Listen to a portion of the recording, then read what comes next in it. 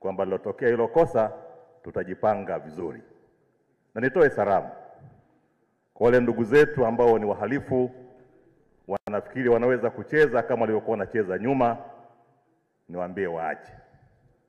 Wakiendelea wasilaumu serikali. Madini ni mali yetu, mali yetu yote lazima tuhakikishe tunailinda, na ulinzi wa mali yetu ni lazima tushirikiane wote.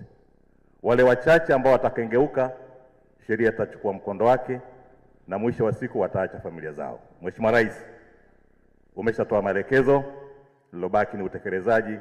Tumekutia aibu, lakini tuwakuhakishie kwamba aibu hii haitaendelea, na bahati nzuri wenzetu wa Kenya wanajua majeshi yetu yako vizuri. Hii ni kwa bahati mbaya imetokea, na nikuhakishie kwamba haitarudia tena, na niwaombe Watanzania waamini majeshi yao yako vizuri sana. Mheshimiwa Rais, nashukuru kwa kuniruhusu kuja kuzungumza maneno machache. Asante sana. Asante sana IGP. Nime, nimefurahi hili la mwisho kwamba mtajirekebisha sasa, hawatatokea tena. Basi vizuri sana, nakushukuru sana Mheshimiwa IGP, mnafanya kazi nzuri. Majeshi yetu ya ulinzi na usalama kwa ujumla yanafanya kazi nzuri sana, na ndio maana Tanzania iko salama, lakini ni haka tuka kipengele haka ndio kalileta dosari lakini umeahidi IGP kwa niaba ya vyombo vingine, basi mkatekeleze, ili tusiendelee mali zetu zinakwenda kushikiwa nje. Ile itatufanya wale wanaoshika kule tuwalete huku waje watusaidie hiyo kazi. Lakini ninashukuru kwa haya uliyozungumza. Si vizuri mali zetu zikaendelea kutoroshwa na vyombo vyetu vipo, mengine yote mmeweza safi kabisa na hili najua ni dogo, mtaliweza kwa sababu nina imani na ninyi na Mungu atawasaidia. Lakini kikubwa ni wananchi wetu pia, kwa sababu saa nyingine wananchi wetu hawatoe cooperation. Ni lazima wawe wepesi kutoa information kwa vyombo vyetu vya ulinzi na usalama katika kuhakikisha hizi rasilimali zinazoibiwa zitumike hapa, ndio zinazojenga barabara, zinazojenga hospitali, zinazotoa elimu bure.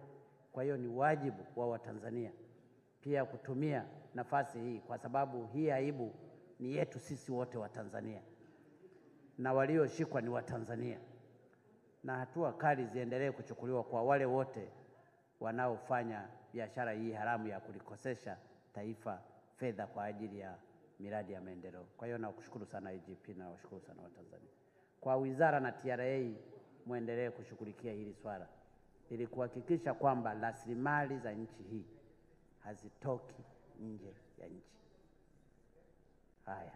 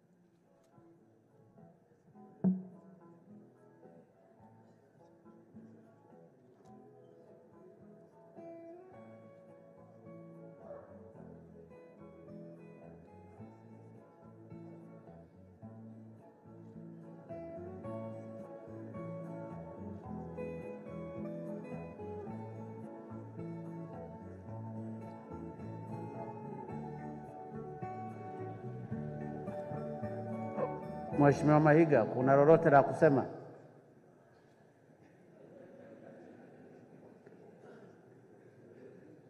Wajomba wa Kenya,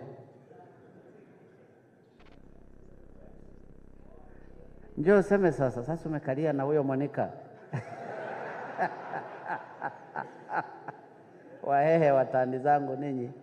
Haya, Mheshimiwa Waziri wa Sheria. Asante sana Mheshimiwa Rais kunipa nafasi kuhakikishia wenzetu kwamba vyombo vyetu vya mahakama viko tayari wakati wote kusimamia utekelezaji wa sheria ya nchi yetu. Mpaka sasa tumeshafikia hatua ya pekee ambapo vyombo vyetu vimeshakamata madini na tumepata nafasi ya kupeleka madini haya Benki Kuu.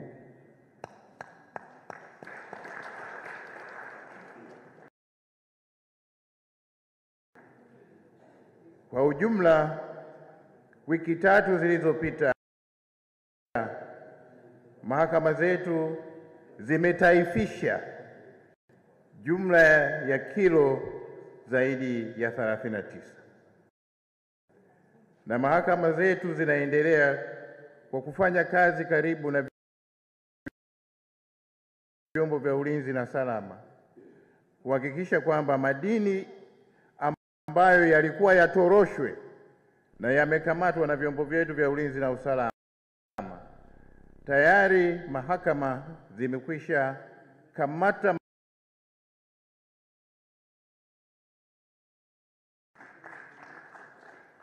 na sio dhahabu tu, pia vito vya aina mbalimbali.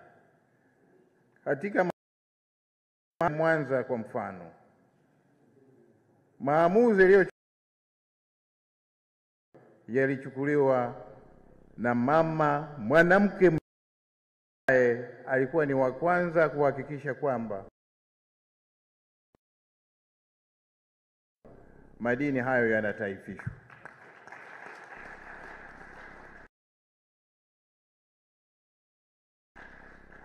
Tutaendelea kufanya hivyo. Mahakama zetu za